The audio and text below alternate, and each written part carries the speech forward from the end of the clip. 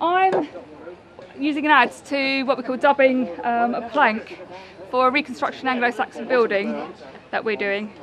And I'm basically trying to get rid of any 21st century marks um, because we try to use tools and techniques that um, we think would have been used in the day that the building would have been put up.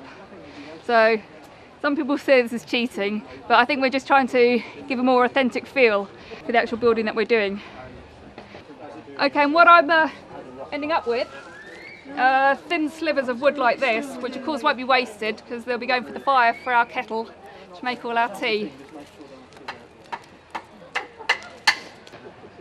I'm using um, an adze, which you can do this with a side axe, but um, I find this really a really nice tool to use, uh, and it's just a case of letting the tool do the work for you.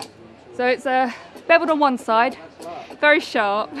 You've got to uh, really be careful of your knees. I haven't cut myself yet. Um, but it's just a case of, in this case, just going through and taking thin wafers of wood. There are cases where you can just really hack at it and take off huge chunks, but I'm trying to be a little bit more careful, a little bit of finesse. That's what I'm after.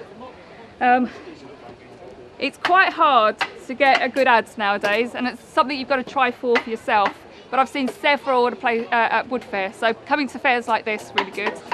And it's just a case of hunting on the internet. Um, you probably have to haft it up yourself. But everybody has a favourite tool and this is mine.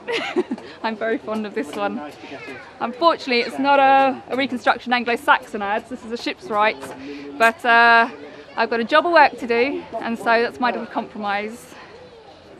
Um, I'm part of the East Sussex Archaeology and Museums Partnership and we like to take on volunteers and trainees to um, basically introduce them to the heritage um, environment. So we've got volunteers, trainees in museums and working with us in the archaeology interpretation units, putting up things like reconstruction houses in schools, going into schools and uh, teaching them traditional British crafts, um, just facilitating, just getting kids out in the, in the open and just uh, I call it playing, but it's learning.